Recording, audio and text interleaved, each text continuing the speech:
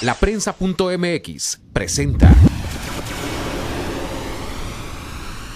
Mira, ahorita, no tenemos nada de planta arraigada. Es eh, algunas dos, tres parcelitas nada más que se componen de unas 10 hectáreas cada una. Es muy poquito lo que tenemos en planta arraigada. Eh, prácticamente con estas bajas temperaturas es posible que, que sí se alcance a leer esa plantita. Ojalá y no. Pero según como nos están anunciando ahora las bajas temperaturas, se vienen para mañana y pasado mañana.